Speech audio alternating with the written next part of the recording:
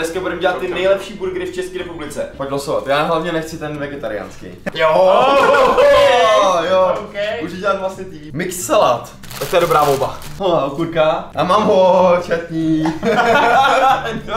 jo, normálně, já jsem vybral ty nejlepší ingredience. Hele, já jsem na, na burgery jsem bal každou holku, takže já mám jako něco naburgerováno. Mm. Takže vzhledem k tomu, když chceš to horší, tak můžeš začít na skok. No tak ty, no, tak ty jsi to dobře. Tak to je dobrý. Moc to nesol. Jako tahle ta sůl od Naturalu je fakt dobrá. No, nekeci mi do toho. Jo. Víc masa, víc bílkovin a lepší pocit z jídla. Před Masterchefem. Tři, čtyři, konec. Máme, Finišuj, jsem, stihl jsem. To je matroš, podívej se na to. A není to špatný. To je fakt jako luxusní. Teda to tam jako, ty vole, to tam kouzlí. A teďka tady musí klidit.